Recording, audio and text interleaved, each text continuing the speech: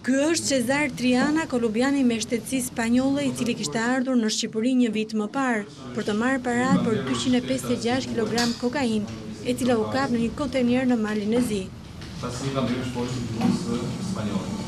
Këtë të martë ai ka dalë në Gjykatën e Krimeve të Rënda, ku do të gjykohet për trafikim të lëndëve narkotike të mbetur në tentativë. Gjykata ka vënë në dispozicion të të akuzuarit një përkthyes, ndërsa në sallë nuk kanë munguar përfaqësues të ambasadës spanjolle, si dhe familjarë të ardhur nga Kolumbia.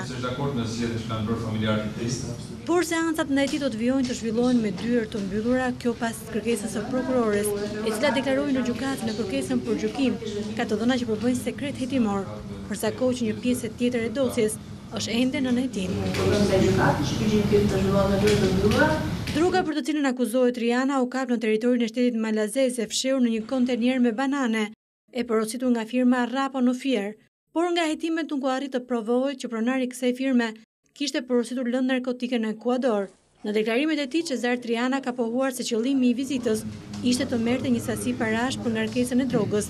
Ai ka thënë para hetuesve se ishte porositur nga dy kolumbianë që të vinte në Shqipëri dhe pasi të kontaktonte me një numër telefoni, do të merrte një këst të parave që varionte nga gjashtëqind deri në një milion euro. Nga kjo punë unë do të fitoja dyqind mijë euro mësohet të jetë shprehur kolumbiani.